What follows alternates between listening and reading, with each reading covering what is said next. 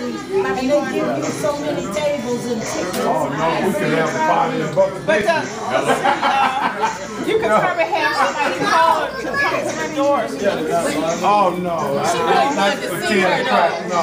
Carmella really wanted to see her. Okay, well, we'll do that. We'll call But I can have a phone. Oh, yeah, then let me call. She can Come over to my sister's house. She doesn't drive. You know,